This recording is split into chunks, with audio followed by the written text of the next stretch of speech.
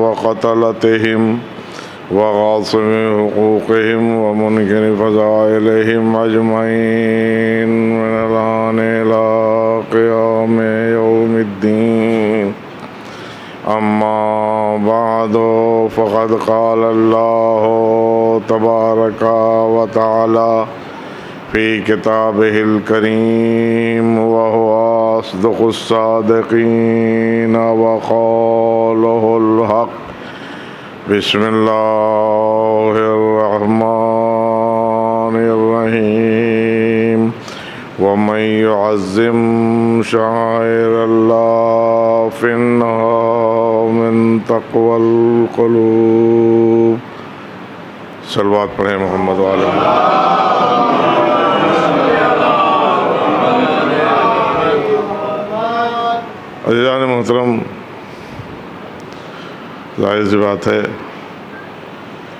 कि आज ये जुलूस और ये हमारी जिसमें आप लोग बैठे हैं, ये इतनी देर में प्रोग्राम नहीं शुरू होता था। हमारा थोड़ा इसको पीछे करें भाई, मैंने कहा था पीछे रखना। थोड़ा सा पीछे करो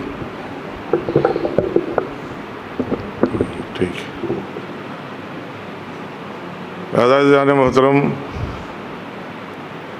मौलाना हसन अकबर साहब ने कहा था, इस साल आपका एक घंटा टाइम हर साल 40 से 45 मिनट बोलो पिछले साल हो गया था एक घंटा। उसकी वजह थी कि हमें सिग्नल नहीं मिला था कि अब ख़त्म करिए। लेकिन इस साल एक घंटा कहा गया था, लेकिन कहा गया था, ठीक नौ बजे आपके लिए मेंबर खाली हो जाएगा। और ठीक दस बजे आप ख़त्म कर दीजिएगा। ज़ाहिर बात है, ठीक पौने दस बजे हमको मोहम्मद मिला है। एक सलवात पढ़े मोहम्मद वाले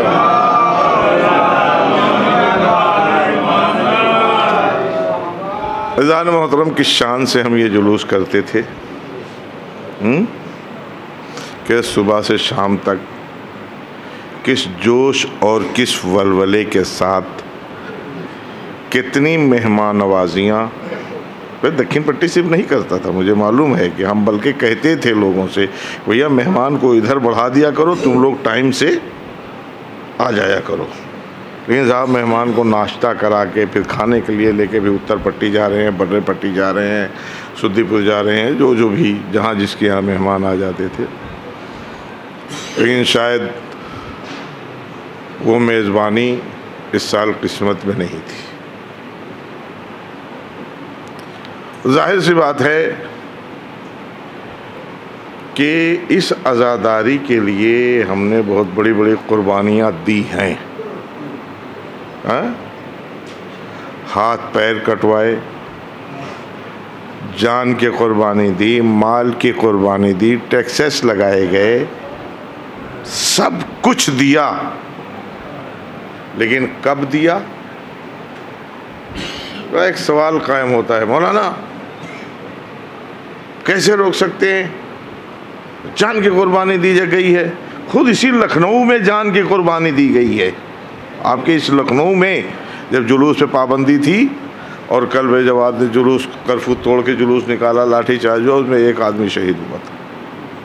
ये मुझे याद है कई साल पहले। लिहाजा जान मोहतरम, हमने कुर्बानियाँ दी हैं ज़रूर, लेकिन कुर्बानी कब दी जाती है? तो ये मरहला है सोचने का। कुर्बानी कब दी जाती है? जब रोक लगाई जाती है। कोई जालिम खड़ा हो के कहे कि हम नहीं होने देंगे। है? यजीद ने रोका, उसके महल के पास मजलिस हुई। है? हर दौर में रोका गया।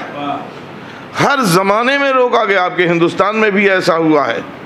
रोका गया, लेकिन हमने कुर्बानियाँ दी और आज़ादारी को भाई हमने बचा के नहीं रखा। ये ना कहिएगा कि हम रोक करते हैं, हमारी वजह से है। हाँ? इसके जामिन हमारे इमाम ज़माना मौजूद हैं, उनकी ज़मानत की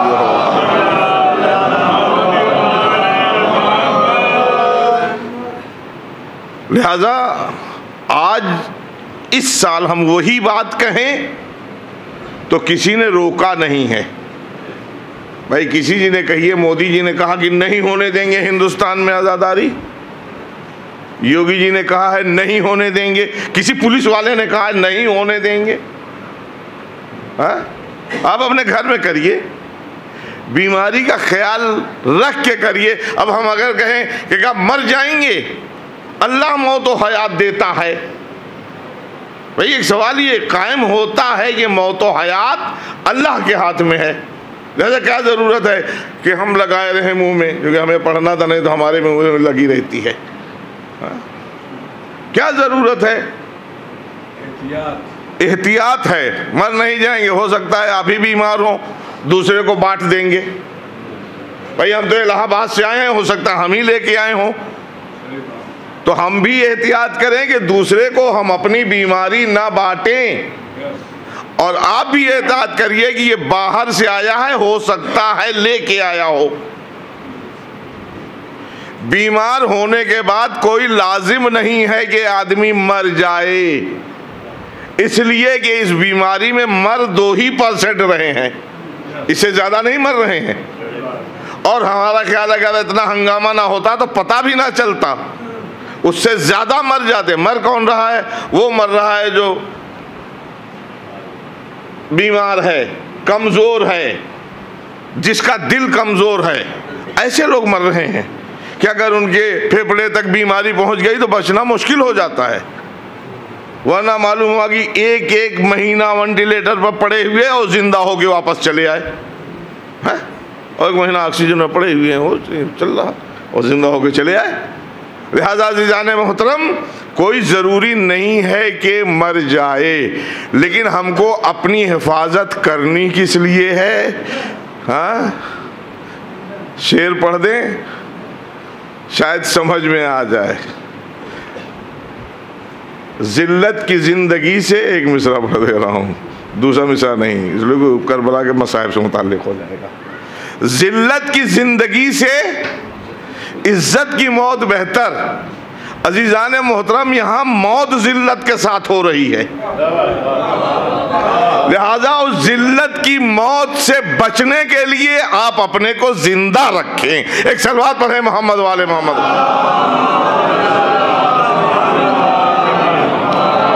खुदा की कसम, मौत से नहीं डर लगता, लेकिन इतना हमेशा पूरी बीमारी में यही दुआ रही, माबूद, मौत देना तो इज़्ज़त की। और बहुत से शरीफ लोग इसीलिए चेक कराने नहीं गए कि घर में मर जाएँगे तो इज़्ज़त से दफन कर दिए जाएँगे। हॉस्पिटल में मर जाएँगे तो ना जाने किस गड्ढे में डाल दिए जाएँगे। एक सलवार पढ़े मोहम्मद वाले मोहम्मद यकीनन अगर हुकूमत की तरफ़ से ये पाबंदी होती कि अब हिंदुस्तान में आज़ादारी नहीं होने देंगे तो शीयत का एक एक बच्चा खड़ा हो जाता अपनी जान को हथेली पर लेके कि किस हुकूमत में जम है? जब यजीद की हुकूमत नहीं रोक सकी। तो ये तो पाँच साल के लिए हमारे ओटों से बनी हुई है। हुकूमत ने रोका नहीं है। हुकूमत को आप, हुकूमत ने आपको गाइडलाइन दी है। ऐसे आप अपने को बचाएँ। इसलिए कि पूरी दुनिया की हुकूमतों ने हाथ उठा लिया है कि इस बीमारी की दवा अभी तक हम नहीं बना सके। ऐसी बीमारी की अभी तक दवा ही नहीं बन सकी। और ये भी, फ़ोन आप कीजिए ना कहीं। पहले यही आता है कि आप अपने को बचाएँ, जब तक दवा नहीं, तब तक हमें एहतियात करना है। इसका मतलब है कि अभी तक कोई दवा नहीं है, लिहाजा जाने मोहतरम, जब तक दवा न हो, तब तक हमें एहतियात करना है। तो मर जाएँगे, अल्लाह के हाथ में मौत व हयात है। तो अल्लाह के हाथ में मौत व हयात है तो अल्लाह ने दवा पैदा क्यों की? मैं ये दवा कह दीजिए, आप इंसान बना रहा जी नहीं इंसान नहीं बना ना रहा है। जनाब लुकमान ने हिकमत मांगी थी। अल्लाह ने नबूत हमत पेश की, जनाब लुकमान ने हिकमत मांगी कि महबूद हमें हिकमत दे दे। तो जनाब लुकमान के लिए मिलता है कि जब वो रास्ता गुजरते थे तो ये घास, जड़ी, बूटी जिसे कहते हैं हम लोग, ये आवाज़ देती थी कि हम इस मरज की दवा हैं, हम इस मरज की दवा हैं। इसका मतलब तमाम दवाएँ अल्लाह अल्लाह ने पैदा की। मरज हो तो ये दवा खा लो, अगर फ़कत मौत हयात का मामला होता तो दवा पैदा ही ना होती, ये बीमार होकर मर जाएगा, ये बच जाएगा। एक सलवार पढ़े मोहम्मद वाले मोहम्मद और एक जुमला अजीज़ान मोहतरम यहाँ तक आ चुके हैं तो इशारा करते चलें, अपने को महफूज रखना है। अपनी हिफाजत करना है, और कुछ नहीं, अपनी नहीं, दूसरों की भी। दूसरों की भी हिफाजत करना है। अब वो हिफाजत कैसे होगी? ज़ाहिर बात, आप अपने को महफूज रखें, वो खुद ब खुद महफूज हो जाएगा। हर एक अपना अपना ख्याल रखे, सामने वाला खुद महफूज हो जाएगा। वो तो मौत अब हयात अल्लाह के हाथ में फिर वही बात आ जाती है। ठीक है, मौत हयात अल्लाह के हाथ में है। जाइए, तैरने नहीं जाते तैरने नहीं जानते, तालाब में कूद जाइए। ठीक है, अल्लाह रोज़ी देता है। वाक़ मिलता है। अब चाहे किस्सा हो, चाहे कहानी हो सुनते रहते हैं, एक शख्स ने कहा, रोज़ी अल्लाह देता है। अल्लाह रोज़ी देता है। एक शख्स ने कहा, ठीक है, हम तो नहीं कुछ करेंगे। चला गया दरिया में, इतने पानी के अंदर खड़ा हो गया। देखें कैसे मिलती है। एक आदमी ने, एक खातून ने कहीं सुन रखा था कि नेकी कर दरिया में डाल। तो सबसे बड़ी नेकी किसी को खाना खिला देना है। तो लिहाजा खाना सबसे बड़ी नेकी है। लिहाजा वो क्या करती थी? रोज खाने के टाइम एक थाली सजा के ले जाके दरिया में डाल देती थी। वो दरिया में यहाँ तक खड़े हुए देखिए अल्लाह रोजी देता है तो कैसे देता है? वो दरिया में यहाँ तक, हम आगे आइए, अब तो साहिब ब्याज है ना बुज़ुर्ग लोग, मैं बराबर कहता हूँ कि आगे आए बुज़ुर्ग लोग इधर हैं। और आप लोग आगे आए, जो बुज़ुर्ग हैं, मैं कहता हूँ, आप बुज़ुर्ग जगह ले वरना इस तरह के बच्चे आठ दस तो यहाँ बैठा करेंगे, अब तो कम हो गए बैठना। लिहाजा जाने में होता वो थाली बहती हुई बहती हुई बहती हुई, जाके उनके सीने के पास लग गई। सुने? ठीक। मैं खाना पहुँच गया, और भूखे तो थे ही, और जल्दी जल्दी। खा लिया, आवाज़ कुदरत आई, मेरे बंदे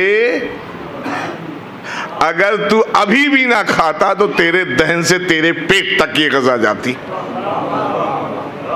वो देने वाला है। बताइए, माँ के पेट में कैसे गजा पहुंचाता है? अल्लाह पहुंचाता है ना? हमारे आपके पास की बात है। एक सलवा तो है मोहम्मद वाले मोहम्मद पर।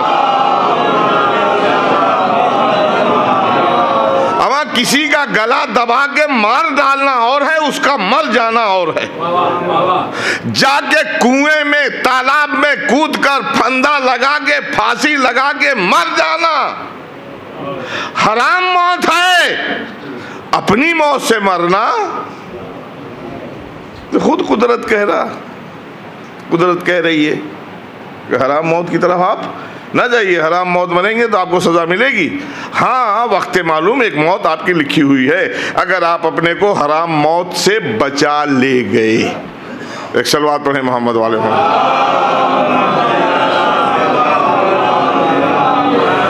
मोहतरम एक घंटा भी बहुत ज़्यादा नहीं है। ऐसी मजलिसों के लिए आगे आए, आप लोग ये जगह खाली है, दूर ही, दूर बैठिएगा। आइए, आप भी आइए, इशारा दूसरे क्यों कर रहे हैं? आइए। ये बड़े पट्टी का हिस्सा ये बना हुआ है। आ जाए भाई आप लोग। जाने मोहतरम। कैसी शान से हमारी कहते हम एहतियात करें बस और कुछ नहीं। मरने की कोशिश ना करें। और बीमारी के बाद कोई ज़रूर भी नहीं कि हम मर ही जाएँगे। हाँ, कोई ज़रूरी नहीं है। एहतियात करें ताकि बीमारी से बचे। और अब गवर्नमेंट इसमें हाथ उठा लिया है। तमाम हुकूमतों ने लेकिन अगर आप बीमार होंगे तो फिर हम आपको छोड़ेंगे नहीं। उठा के हम ले जाएँगे। क्यों? इसलिए कि दूसरे की हिफाजत के लिए। भाई, घर में अगर आप बीमार हो गए तो उसी घर में आपके बच्चे भी तो हैं। भाई, एक ज़माने में एक बीमारी चली थी जिसे चेचक कहते हैं। जब कोई छू देता था, तब दूसरे को हो जाती थी। या चेचक तो लोग कहते हैं, उसके कीड़े उड़ते हैं दूर तक, जब जलाते थे हिंदू तो वो भी अकेले जाके।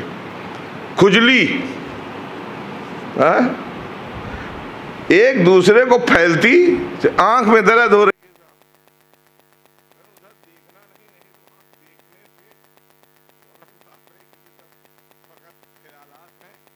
जरासीम सी ये सब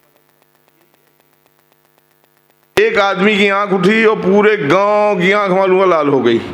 होता है कि नहीं होता? अभी जब वबा चलती है। एक आदमी को बुखार कहीं हुआ, कहीं वायरल फैला साहब, पूरा मोहल्ला का मोहल्ला। इतने दिन रहेगा। वैसी ही ये बीमारी है। आई अगर घर में घुस गई तो अब हर आदमी के लिए ज़रूरी है कि एक दूसरे से बचें। वरना अगर हम बीमार हैं, अपने घर में लेके घुस गए तो इसका मतलब है कि हम अपने बच्चों की ज़िंदगी से खिलवाड़ कर रहे हैं। लिहाजा ये हिफाजत हमको खुद करनी है, और हुकूमत की गाइडलाइन की कोई हैसियत हमारे निगाह में नहीं है। लेकिन जो हमारी मजहबी गाइडलाइन है। जी? आइए, ये मुहर्रम और आज़ादारी किस लिए आती है? हमसे कुछ लेने के लिए या हमें कुछ देने के लिए? जी? हमसे लेने के लिए आप क्या देते हैं आज़ादारी हमें देने के लिए आती है। क्या दिया है आप बताएँ? अमा जितना आप लुटा देते हैं उससे ज़्यादा अल्लाह बरकत देता है। हाँ, कमर सुल्तान ने पढ़ा था ना एक शादी में महदूद आदमी पूछे जाते हैं उसके बाद उसी हिसाब से नाप के तौल के खाना पकता है और उसके बाद भी घट जाता है। और जुलूस हमारी में पूछा जाता है, इस गाँव से कितने लोग आएँगे? अमा हम दक्षिण पट्टी की बात नहीं कहते। चलिए, शिवली, चलिए, कभी मालूम हुआ आपको कि खाना घट गया? मैं पकड़ पकड़ के एक एक आदमी को, भाई, खाना खाया, भाई, खाना खाया। है? कभी घटा? यहाँ दौलत नहीं है, ये बरकत है जो अल्लाह देता है।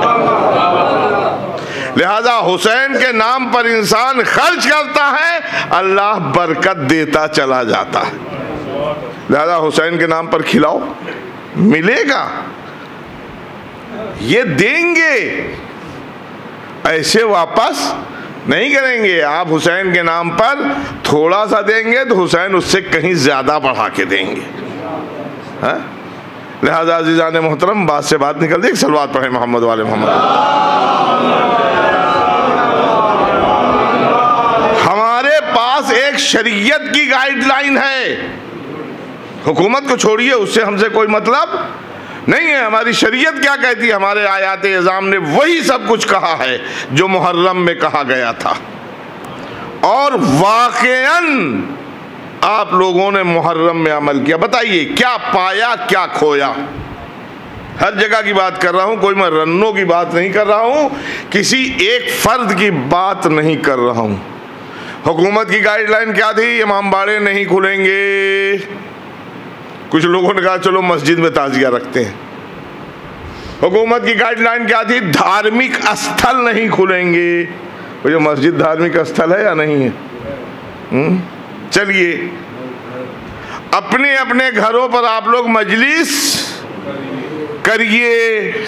हमारे आयात एजाम ने क्या कहा? फिर सवाल करते हैं, मुहर्रम कुछ देने के लिए आता है या लेने के लिए आता है? हमें देने के लिए आता है दौलत देता है, इतना कोई खर्च भी नहीं कर पाता जितना हम दस दिन में लुटा देते हैं हाँ?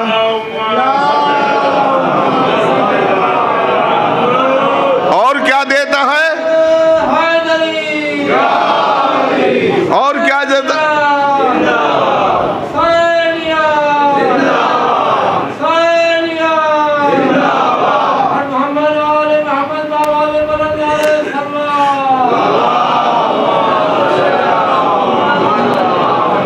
ये अजाए हुसैन और क्या देती है इज़्ज़त देती है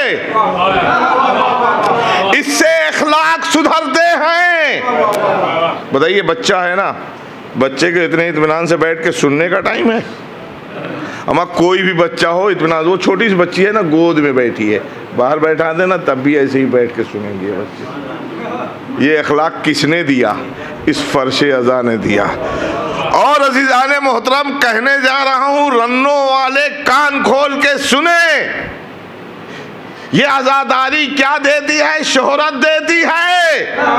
एक जुलूस हमारी से पूरी दुनिया में रन्नो मशहूर हो गया है। एक सलवार है मोहम्मद वाले मोहम्मद पर।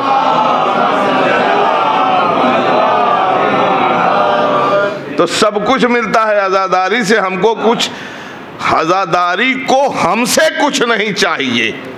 हम ये दावा नहीं कर सकते कि हम कायम किए हुए हैं।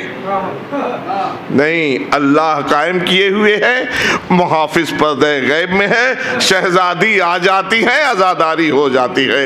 एक सलवात पढ़े मोहम्मद वाले मोहम्मद। मोहतरम, फिर ये देखना है कि इस साल आज़ादारी में हमने खोया क्या? हमने पाया क्या? ये चीज़ है ना? हमने खोया क्या? हमने पाया क्या?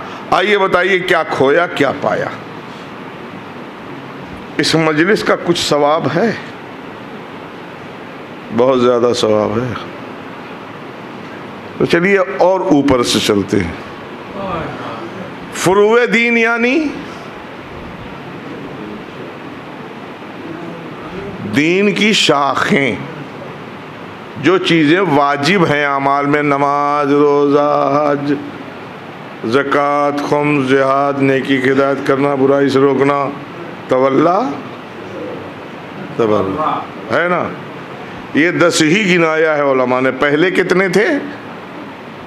जो लोग पहले के पढ़े हुए नज़र अब्बास भाई बताएँगे। छः।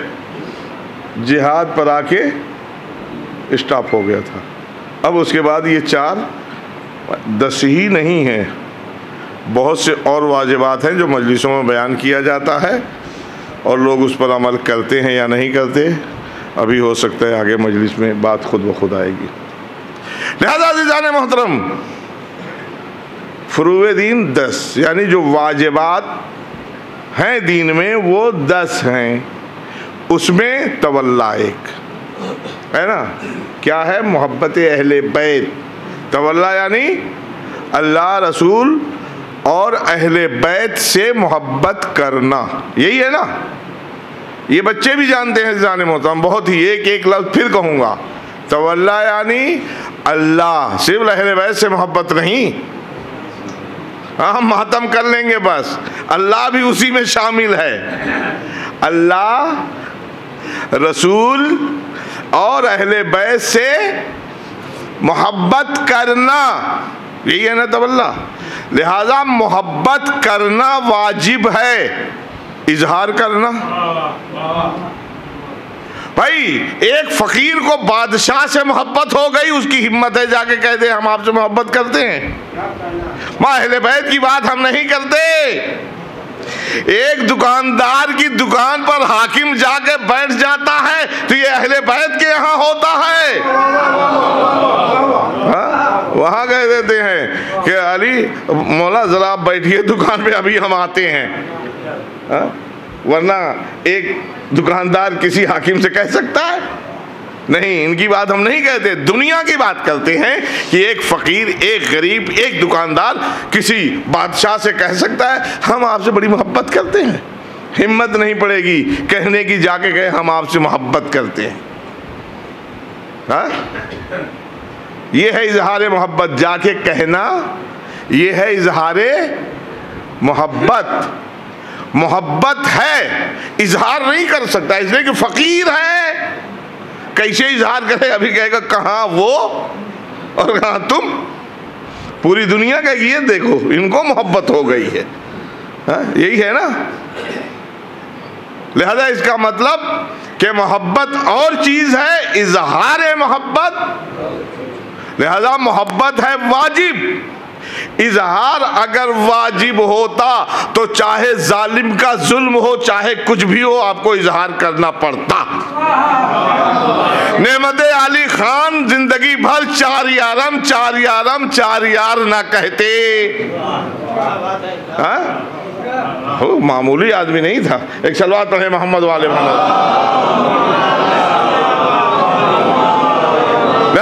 मतलब है कि इजहार मोहब्बत वाजिब नहीं है। मोहब्बत वाजिब है? इजहार मोहब्बत वाजिब नहीं है। ये मजलिसें क्या हैं? मोहब्बत है या इजहार मोहब्बत है? मातम क्या है? मोहब्बत है या इजहार मोहब्बत है? है ना इजहार मोहब्बत? तो वाजिब है या मुस्तहब? ये तो बड़ी परेशानी होगी, हम तो वाजिब से बढ़ के मानते हैं। अजीजान मोहतरम, सवाब के एतबार से ज़रूर बढ़ के है। वाजिब का एक है, मुस्तहब का दस गुना। इसका सवाब ज़्यादा है। लेकिन कब? मैं जब एक होगा तब तो दस सौ हज़ार बनेगा। जब एक ही ना हो, लिहाजा पहले वाजिब अदा करके एक कायम कीजिए, सिफर बढ़ता जाएगा, दस गुना, सौ गुना, हज़ार गुना होता जाएगा। एक सलवात बढ़े मोहम्मद वाले मोहम्मद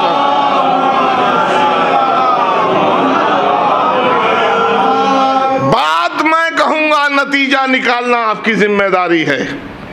मुस्तहब, मुश्तहिद के हुक्म और फतवे पर अमल करना, उसकी मुखालफत करना हराम। एक तरफ़ हराम अंजाम दे, एक तरफ़ मुस्तहब अंजाम दे। अब जाके सवाब का पलड़ा आप तोड़ लीजिएगा, हमें कहने की ज़रूरत लिहाजा उस पर अमल करते जाइए। आपके मुस्तहब का सवाब? एक सलवात पढ़े मोहम्मद वाले मोहम्मद।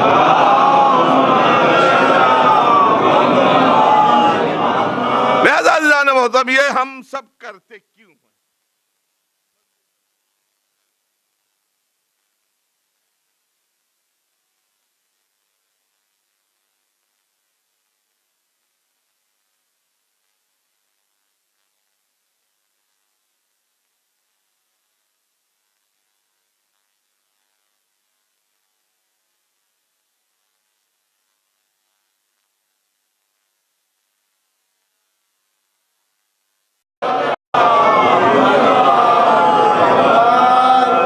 तो हम ये सब क्यों करते हैं?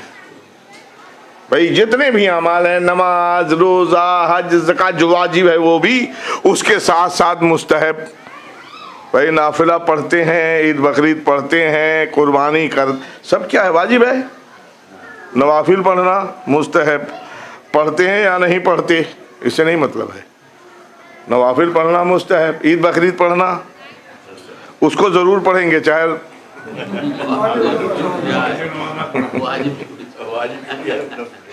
हाँ उसमें देख आप खुद भीड़ देख लीजिए। लिहाजा ने मोहतरम, हमारा ज़ोर मुस्तहब पर बहुत है और वाजिब पर नहीं, पहले वाजिब करते जाइए, मुस्तहब का सवाब बढ़ता जाएगा। और अगर वाजिब नहीं करेंगे तो मुस्तहब का सवाब मिलने वाला एक सलवार पढ़े मोहम्मद वाला।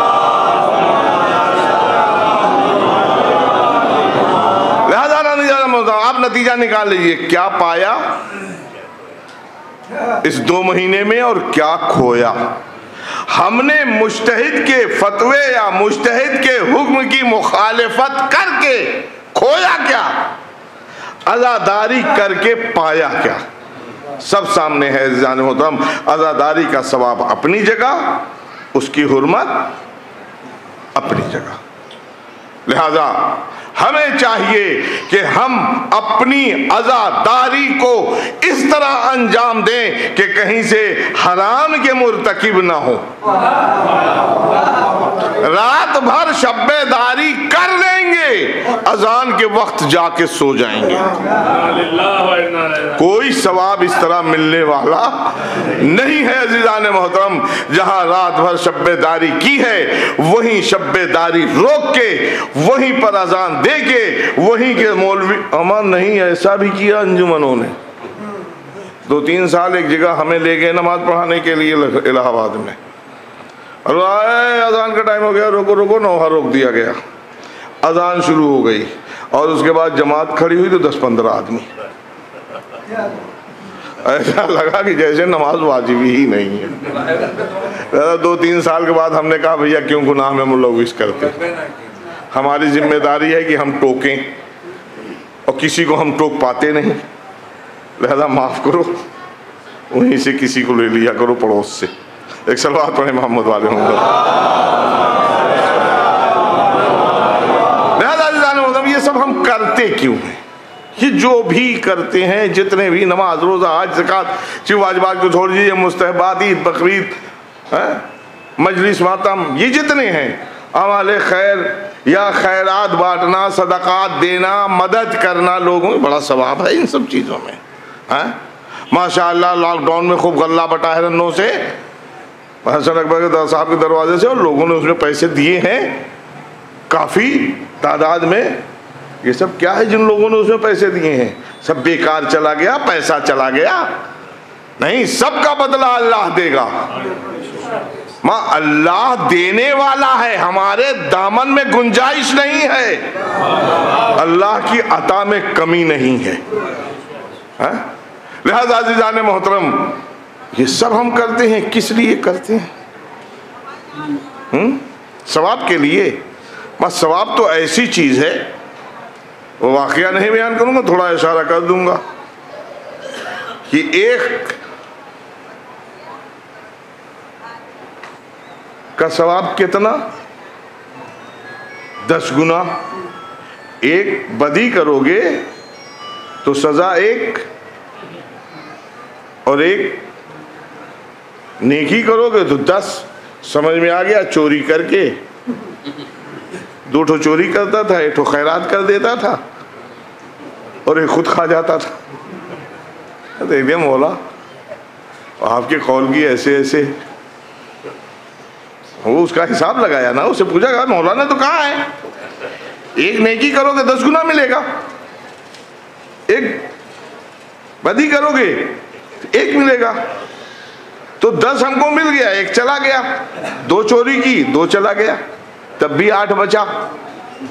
हिसाब सही है ना मैथ पढ़े हुए था वो। नहीं जाने मोहतम ये सब कुछ कब है?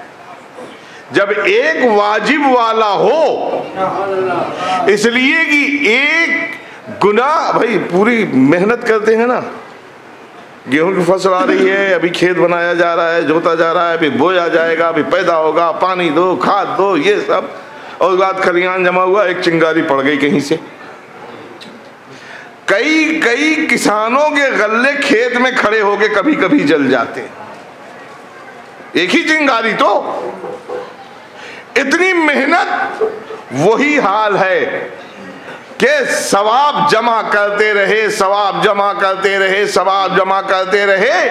गुनाह की एक चिंगारी ने खिरमने सवाब को जला के रख कर दिया। बचा क्या? ज़ीरो, कुछ नहीं बचा। लिहाजा जाने मोहतम हम अपने को पहले बचाएँ। क्या, किस लिए यहाँ आते हैं? इसलिए कि हमें कुछ मिल जाए। क्या चाहिए? सवाब चाहिए? सवाब वाब नहीं चाहिए। वहाँ चाहिए आखिरत में क्या चाहिए? निजात। सवाब नहीं। सवाब तो मिला। एक चिंगारी उसके खलियान में लगी। पूरा गया। हमें क्या चाहिए? निजात। और निजात किसे मिलेगी? अजीजान होता मंजिल की आखिरी तरफ़ रुख मोड़ रहे हैं। चलते हैं अब। किसे मिलेगी? पूरे मुहर्रम में इसी आयत पर मैंने मजलिस पढ़ी है कि फकत मोमिन को। ये जन्नत, ये चश्मे, वक्त नहीं है कि इन सबको मैं गिनाऊं। जन्नत, चश्मे, मोमिन के लिए, कुरान हिदायत, मोमिन के लिए। सब कुछ मोमिन के लिए है, मुत्तकीन के लिए। जन्नता वालून लिलमुत्तकीन मुत्तकीन के लिए। जन्नत मुत्तकीन के लिए, चश्मे मुत्तकीन के लिए, हिदायत खुदल मुत्तकीन। मुत्तकीन के लिए। अल्लाह किसका दोस्त? यहीबुल्लामुत्तकीन अल्लाह मुत्तकीन का दोस्त। हर चीज़ मुस्तक, मुत्तकीन के लिए। अल्लाह सब कुछ किसे देगा? मुत्तकीन के लिए। मुत्तकी कौन है? मोमिन तो मालूम है ये सब बैठे हैं।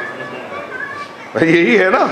साहिबान ईमान और साहिबान इस्लाम, ये मुत्तकीन कौन है? कोई गुरोह है? ये मुत्तकीन का गुरोह है?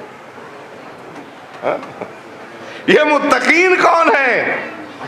चलिए तलाश करिए नमाज़ पढ़ने वाले, इबादत करने वाले।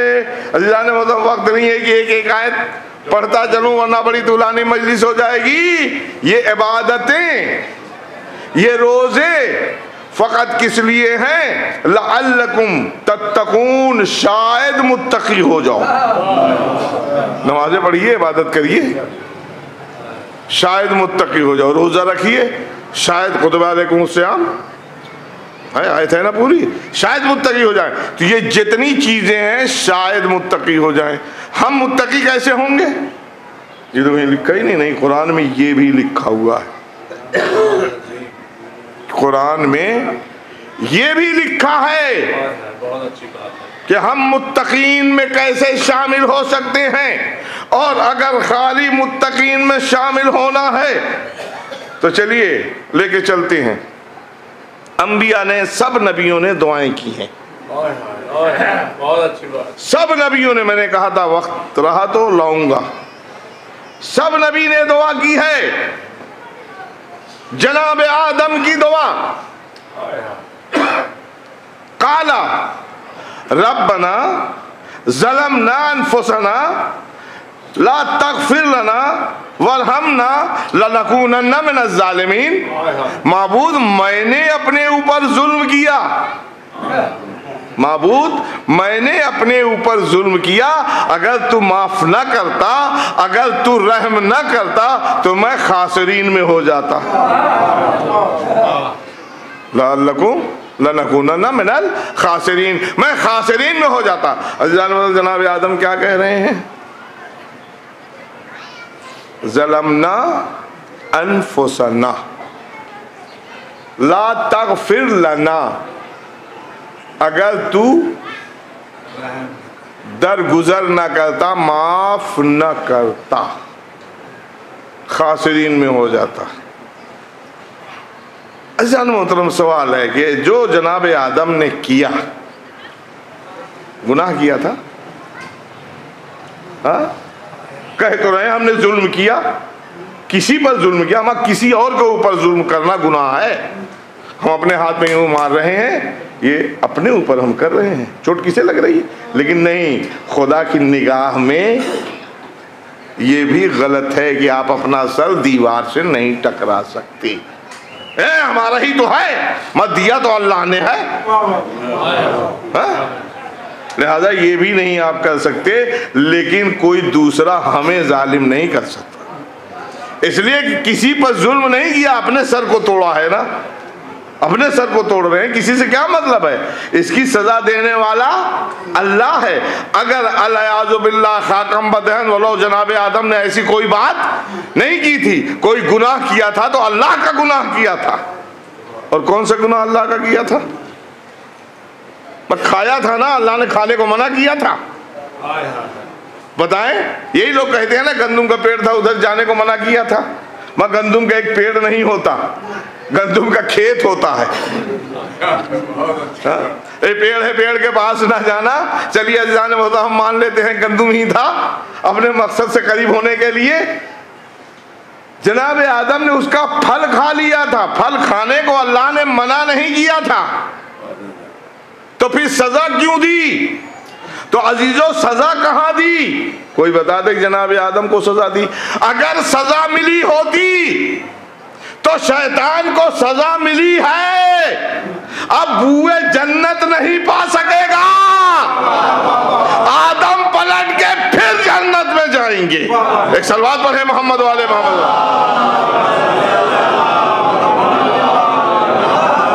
और अगर आदम न गए तो आप लोग अपनी खैर मनाइएगा।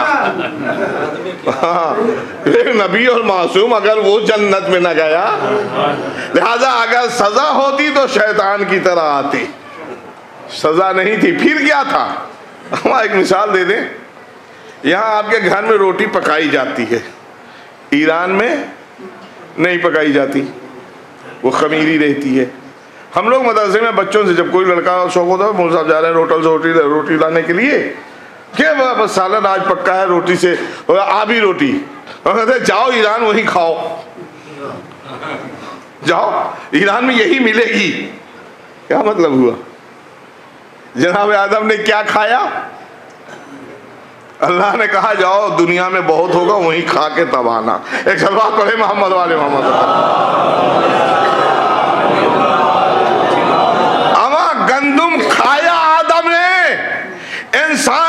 खुराक का 80 से 90 परसेंट हिस्सा अल्लाह ने गंदुम को करार दे दिया।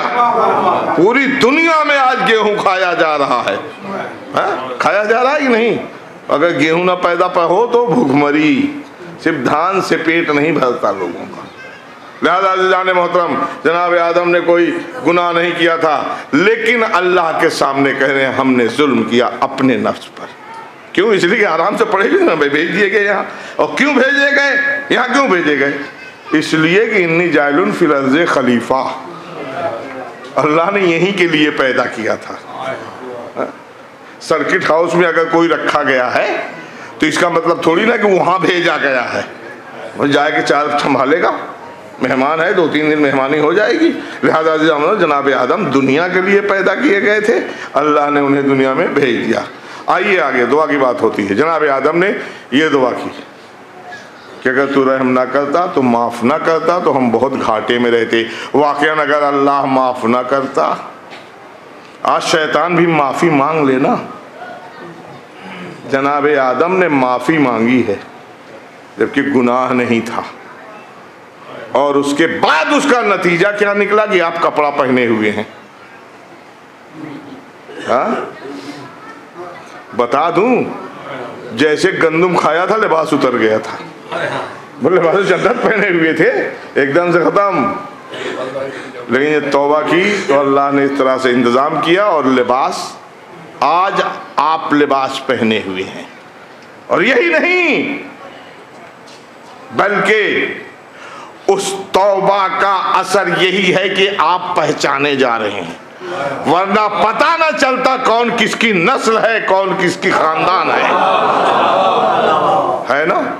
हैवान से बदतर होते, इसलिए कि अल्लाह ने उन्हें अक्ल नहीं दी है, हमें अक्ल देकर भेजा है। गिड़गिड़ा के अरफात में दुआ मांगी है जनाबे। आदम, मुजदलिफा में। अरफात में है वो पहाड़, अरफात में है।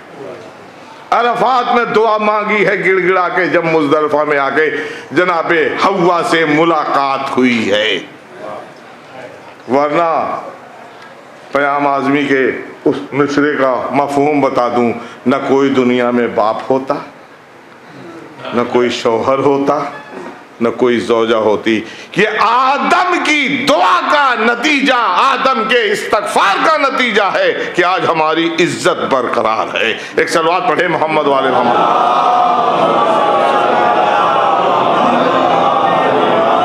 आइए जनाब नू की दुआ। रब बना का फिरली, वले वाले दैया, वले मन दखला बैती मोमिन वलिल मोमिना वल क्या कहा? रब बना का फिरली वले वाले दैया। ये क्या? वले वाले दैया क्या है? वालदेन के लिए है। वाले दैया। तस्निया का सेवा है। वालदेन के लिए दुआ है सबसे पहले। उसके बाद जनाब इब्राहिम की भी एक दुआ पढ़ दूँ। अल्लाह से दुआ की है। जल्दी जल्दी टाइम हमारा खत्म हो रहा है। रबना का फिरली वले वाले दैया अल्लाह मुझे भी माफ़ कर, जनाब नू की भी दुआ, जनाब इब्राहिम की भी दुआ। लेकिन जनाब नू की दुआ बाद में क्या है? वले मन दखला बैती, जो हमारे घर में दाखिल हो जाए। उसके बाद मोमिना मोमिनात कह दिया। लेकिन जनाब इब्राहिम की दुआ रब बना का फिरली वले वाले दैया वलिल मोमिना योम यकूमुल हिसाब। माफ़ कर दे माबूद। मुझे, मेरे बाप को, मेरी माँ को मोमिन को कब कयामत तक किसके लिए दुआ मांगी? हमारा कम से कम वालदेन के लिए तो अब हक बनता है ना। कि हम वालदेन के लिए भी कुछ करते रहे, इसलिए कि उनसे हमें नाम मिला है। उनसे हमें इज़्ज़त मिली है। उनसे हम कहे जाते हैं, अच्छी नस्ल का है या ख़राब नस्ल का इस बात में नहीं जाना है। लिहाजा जनाब इब्राहिम की दुआ, जनाब मूसा की दुआ रबिशराहली सदरी। जिनको जो ज़रूरत थी, वो मांग लिया। जनाब मूसा को क्या परेशानी थी? जबान थोड़ी सी तोतली हो गई थी। रबिशराहली सदरी वसरली वाहलसानी महबूद मेरी जबान की गिराह को खोल दे, ताकि लोग हमारी बात को अब आइए देखें सर्वे कायनात की क्या दुआ है। एक एक जुमला सबकी दुआ का पढ़ रहा हूँ। दुआएँ तो बहुत। जनाब इब्राहिम की तो पूरी दुआ ही है। बड़ा है, बड़ा। ज़रूरियत के लिए मांगा, अपने लिए मांगा, वालदेन के लिए मांगा मोमिन के लिए मांगा वो सबके लिए मांगा। तो कई तरह से मांगा, समाज के लिए मांगा। अब सूरज जुमा उठा के देख लीजिए, और सबका जवाब मिला है। लिहाजा मोहतरम, आइए चलिए। सरोवर कायनात की क्या दुआ है? रब बना ला तहमिलना। ला ताकत लना माबूद, मुझ पर इतना बार न डाल जो मेरी ताकत से ज़्यादा हो। अब आपसे सवाल करता हूँ कि हुजूर कितनी नमाज़ पढ़ते थे? हम्म? कि खुदा को कहना पड़ा कि मेरे हबीब थोड़ा सा आराम कर लिया कर। रात भर नमाज़, दिन भर इबादत, रात भर इबादत, दिन भर इबादत। पैरों में वरम आ जाते थे, थोड़ा सा आराम कर लिया। यानी जहाँ अल्लाह को कहना पड़े कि थोड़ा सा आराम कर लिया करो, वो कह रहा है महबूद मेरे ऊपर मेरी ताकत से ज़्यादा बार न डालना। वो कौन सा बार था? ये सवाल है अजीजान मोहतरम लिहाजा एक जुमला कहूँगा, हजूर का जुमला है कि जितनी मुसीबत मुझे दी गई,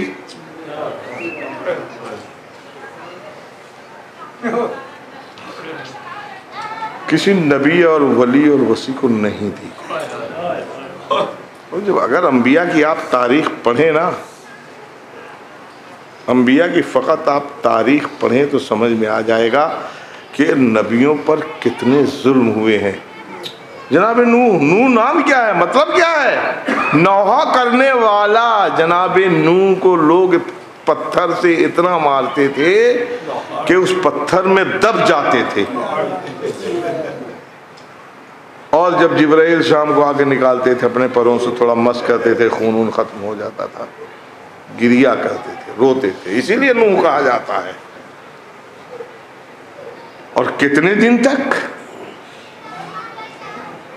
साढ़े नौ सौ साल तो तबलीग मिलती है। साढ़े नौ सौ साल। नब्बे साल नहीं।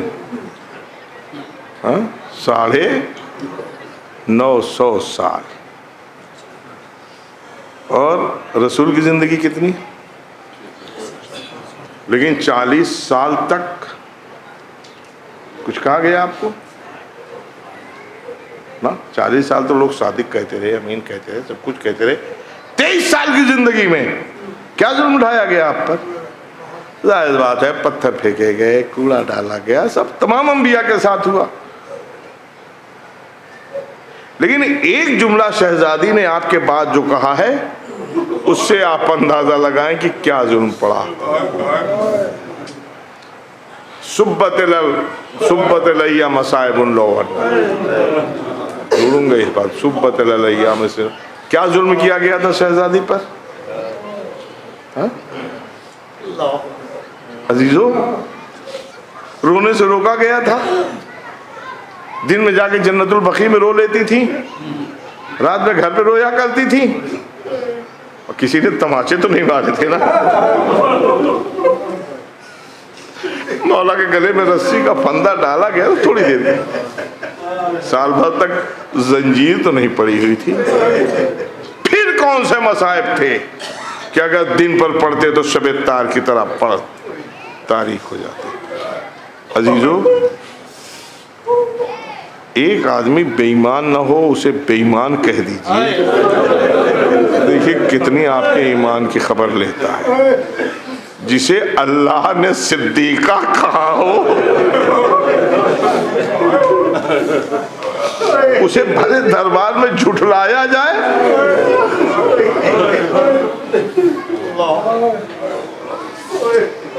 लिहाजा,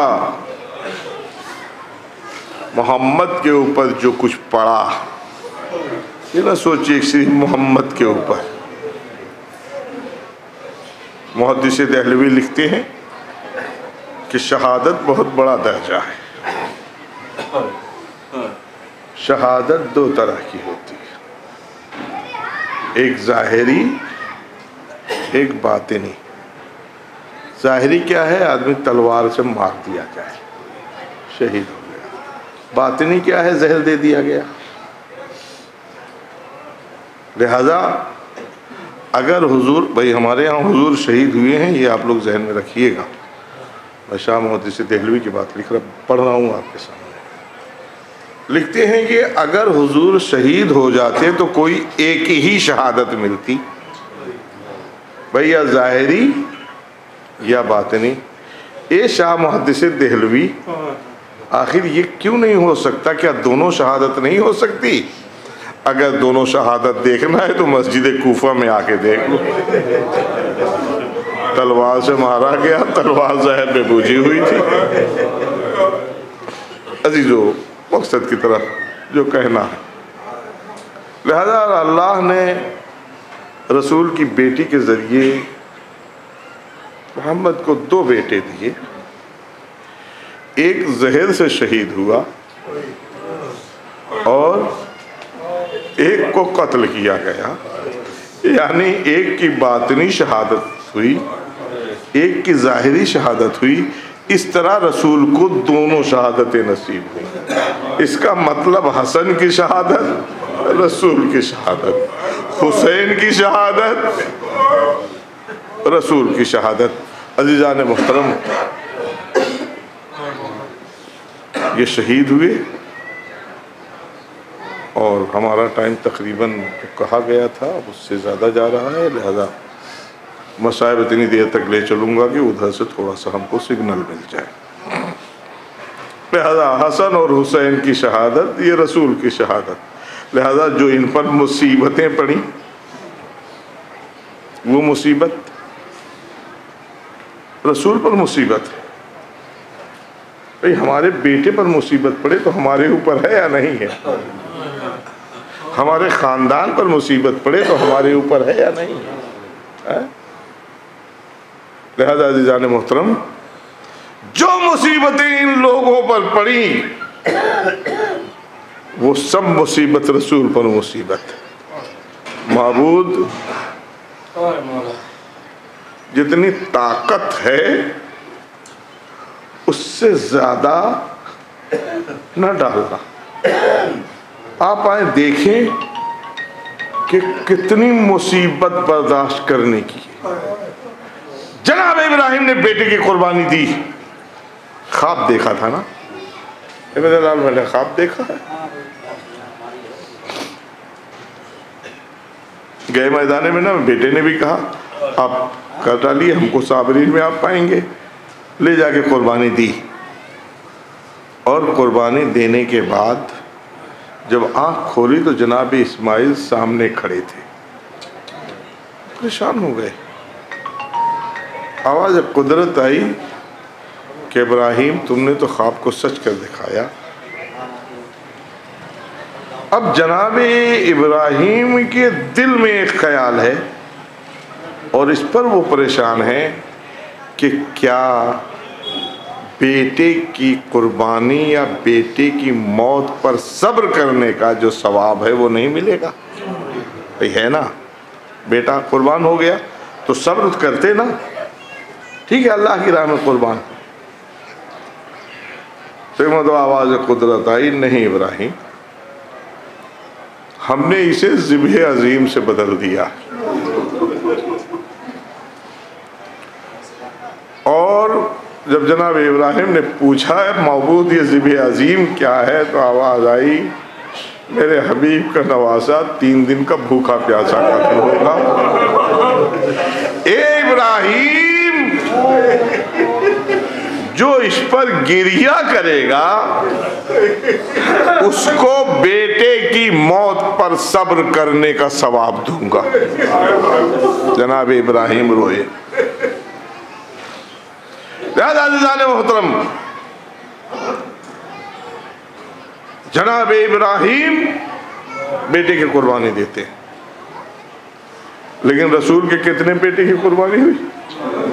एक, दो, नहीं अजीजान मोहतरम, ग्यारह में एक बचा है।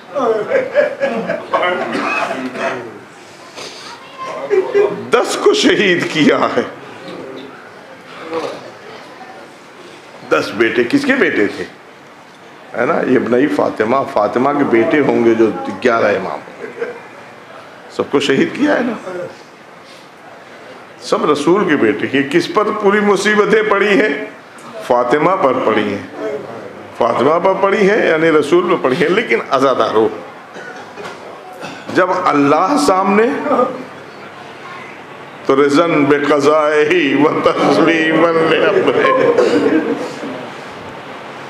बाबू तेरी रजा पर तैयार हो। शब हिजरत, अली बिस्तर पर सो गए, तलवारों के साय में, क्यों? अल्लाह की रजा। लिहाजा जो भी कुर्बानियाँ इन्होंने दी, रजन बेकजाही व तस्रीमल अमरे। और अजीजो सवाल करता हूँ, इमाम हुसैन सलाम करबला के मैदान में, आप बताएँ, इतनी बड़ी बड़ी कुर्बानी दी कहीं कदम पीछे हटे। कौन सा वक्त हुसैन पर सबसे सख्त था? उस मंजिल पर ले चलना चाहता हूँ, और उस सख्त वक्त में हुसैन की जबान पर यही है। बाबू जो तूने लिख दिया उस पर कितना सख्त? भतीजे का लाशा पामाल हो गया। इससे सख्त वक्त हो आ सकता है, सामने देखते देखते भतीजा ज़िंदगी में पामाल हो गया। हुसैन किस तरह भतीजे के लाश के टुकड़े को उठा के लाए, ये हुसैन ही का दिल जानता है।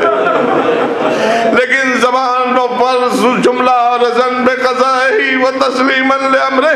और पैरों में लफ्जिश नहीं, कहीं हुसैन का कदम पीछे नहीं हटा। भांजे के जनाजे उठा के लेके आए। कदम पीछे नहीं हटा। कितना सख्त वक्त है अजीजो, जब भाई का आलम उठा के लाए। ए भैया, आपके कमर गम से हुसैन की कमर टूट गई। सख्त वक्त है या नहीं? और कितना सख्त वक्त है जब जवान बेटे को रुखसत किया। ऐसा जुमला देखें जब अली अकबर चले हैं तो एहसास हुआ कि जैसे कोई पीछे पीछे दौड़ा हुआ आ रहा था गिर गया पलट के देखा बूढ़ा बाप रुक गए। ए बाबा तो रुखसत कर दिया था। अच्छा बेटा, जब तक सामने हो मुड़ मुड़ कर देखते जाना। काश तुम भी साहिब औलाद होते। और कैसा बेटा अली अकबर? रसूल से मुशाफिर जब कभी रसूल की जियारत करना चाहते थे तो अली अकबर को देख लेते थे। आजादारो। लेकिन कैसे रुखसत किया? कितनी मुसीबत का वक्त था हुसैन के लिए। पाँव में लफ्जिश नहीं है। रजन बेकजाए ही व तस्लीमन आखरे। अजीजों, कहीं हुसैन का कदम पीछे नहीं हटा। कितना सख्त वक्त था अली अकबर के कलेजे से नहजे का फल निकालना। कितना सख्त वक्त था अली अकबर के जनाजे को उठा के लाना।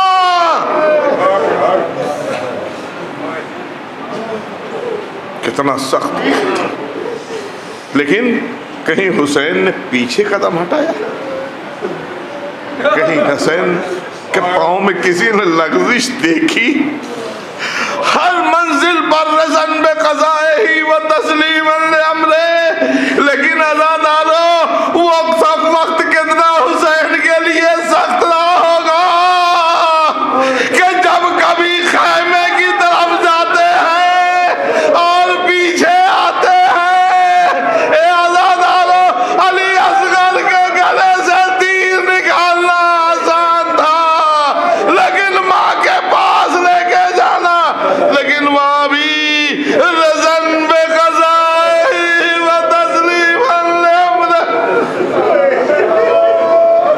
जजाकुम रब्बकुम अजीजो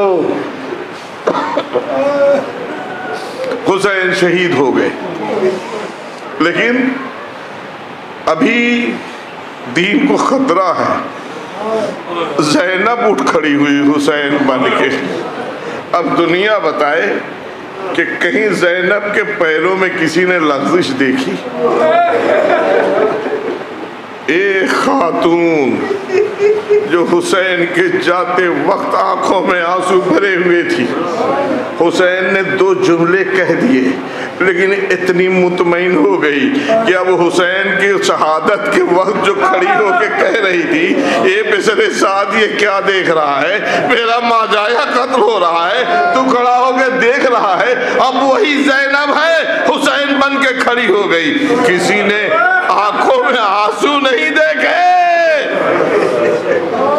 और यहाँ तक के जब तक रिहाई नहीं मिल गई। ए आजादारो जब रिहाई मिल गई तो अब जैनब ने कहा, ए मेरे लाल, अभी रोई नहीं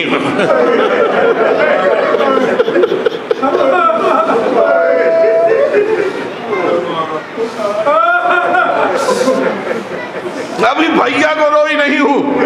अजीजो, जैनब रोई, शाम में मातम हुआ। एक हफ़्ते तक हुसैन की मजलिस होती रही और शाम की औरतें आती रही और मातम होता और उसके बाद शाम से ये काफिला चला। जब काफिला चला तो बस इतने ही कहा। ए शाम वालों, से ये ए शाम वालों, तुमसे कोई शिकवा नहीं है। इसलिए कि कोई जानता नहीं था कि ये लोग कौन हैं। और जिसे मालूम हो जाता था, है वाकयात उसे कत्ल भी कर दिया जाता था। लिहाजा किसी को मालूम नहीं था। क्यों? इसलिए कि जब मातम हुआ है, मजलिस सुई है ना तो वही लोग जो नए और जर्क बर्क लिबास पहन के तमाशा देखने आए थे एक दिन। सोगवारी का लिबास पहन के आए। ए बीबी मुझे माफ़ कर दीजिए, मुझे मालूम नहीं था आप लोग कौन और जब ये काफिला चलने लगा, उसे कहती है, ए बीबी ए शाम वालों, तुम्हारे दरमियान हम साल भर रहे, तुमसे कोई शिकवा नहीं। अब जा रहे हैं। अब जा रहे हैं। ख्याल रखना, यहाँ हम एक अपनी अमानत छोड़े जा रहे हैं। जब कभी इधर गुजर हो तो कब्रे सकीना पर एक चिराग जला देना।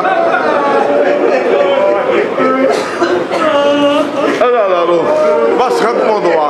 एक हफ़्ता एक हफ़्ता मातम हुआ। कहा शाम में?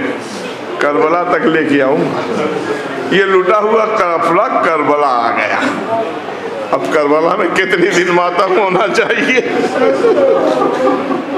सवाल है आजादारो जब शाम में एक हफ़्ता मातम हुआ तो जहाँ बहत्तर टुकड़े देखे हो जहाँ बहत्तर लाशें जैनब ने अपनी आँखों से देखी हो कितने दिन मातम होना चाहिए लेकिन आज़ादारों एक दिन गुजरा, जब बीस मुहर्रम को, बीस मुहर्रम, बीस चेहरों को ये काफिला पहुँचा तो आलम क्या था? फरियाद किया सैद सज्जाद सुनेंगे? पहला चाहने वाला मिला था। जाबिर इब्ने अब्दुल्ला आवाज़ दी है जाबिर तुम्हें मालूम है यहाँ कहा हुआ? ए जाबिर, तुम जानते हो यहाँ क्या हुआ? ए जाबिर, ये वो मैदान है जहाँ हमारे अफराद सब कत्ल कर डाले गए। ए जाबिर, ये वो जगह है जहाँ मेरा बाबा शहीद कर डाला गया। ए जाबिर, ये वो जगह है जहाँ मेरे बच्चे देख कर डाले गए। ए जाबिर, ये वो जगह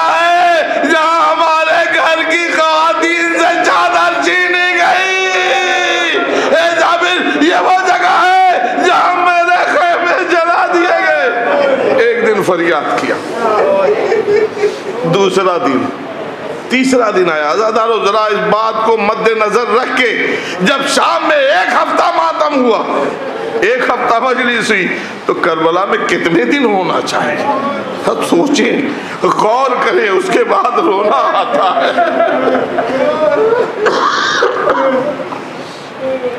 एक दिन बीस को पहुँचे थे। इक्कीस गुजरी, बाईस गुजरी, तेईस आ गई। सैयद सज्जाद ने कहा भूपी अम्मा, चलिए मदीने। तस्वुर है बस तस्वुर चलता है, बस खत्म दुआ।